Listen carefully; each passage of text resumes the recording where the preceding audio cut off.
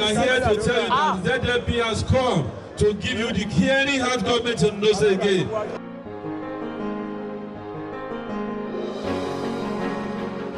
In 2016, INEC declared Rotimi Akeredolu as winner of the Ondo gubernatorial election after defeating 26 candidates from other political parties. I, Oluwarotimi Odunayo Akeredolu, Senior Advocate of Nigeria, do solemnly swear that I will be faithful and bear true allegiance to the Federal Republic of Nigeria and that I will preserve, protect, and defend the Constitution of the Federal Republic of Nigeria.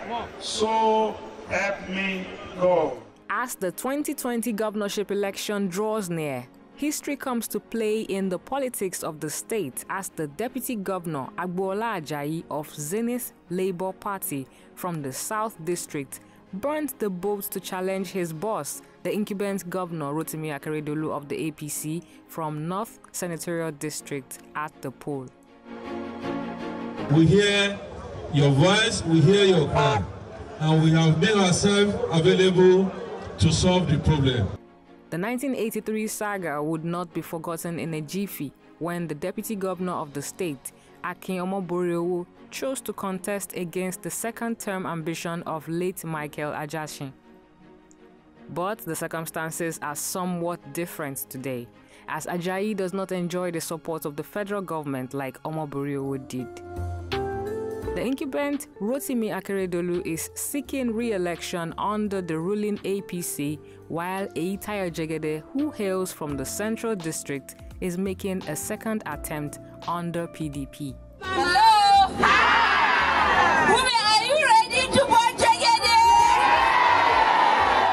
The emergence of the incumbent Deputy Governor Agboola Ajayi as candidate of the Zenith Labour Party has changed the political narrative ahead of the poll.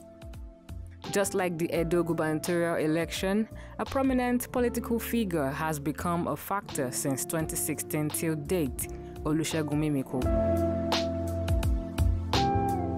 In 2016, Olusegun Mimiko, while leaving the office, threw up the current PDP candidate Eyitayo Jegede, who lost the election to the incumbent.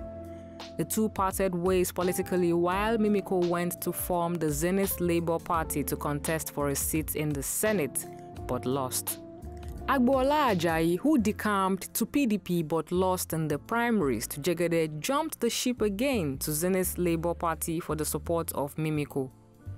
The three major political parties out of the 17 that were screened for election by INEC have their candidates from each of the senatorial districts, including PDP's Eyitayo Jegede from the Central District in the forthcoming October 10, 2020 governorship election.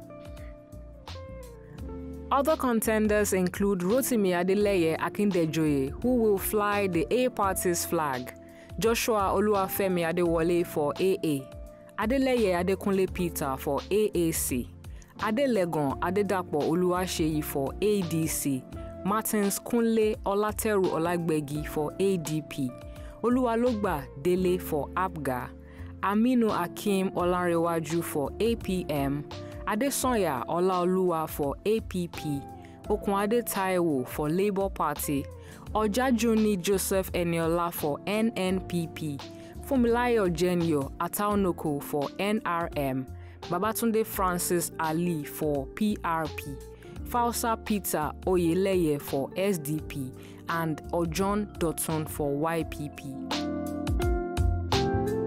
As Ondo goes to the poll, the biggest question is who will take over the gubernatorial seat in Alagbaka Akure Government House? Let's have your thoughts in the comments section. Like, subscribe, and share.